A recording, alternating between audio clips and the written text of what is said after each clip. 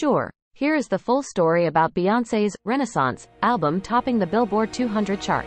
Beyoncé's highly anticipated seventh studio album, Renaissance, has debuted at number one on the Billboard 200 chart, selling over 400,000 copies in its first week. This is Beyoncé's seventh number one album in the United States, and it is the highest selling album of 2023 so far. Renaissance is a departure from Beyoncé's previous work, with a focus on dance pop and house music. The album has been praised by critics, with many calling it Beyoncé's best work to date. Some of the songs on the album include Asterisk, Break My Soul, the lead single from the album, is a dance pop track with a house beat. The song has been praised for its empowering message and its catchy melody. Alien Superstar, the second single from the album, is a more experimental track with a disco beat. The song has been compared to Beyoncé's early work with Destiny's Child. Cuff It, a song about female empowerment and self-love.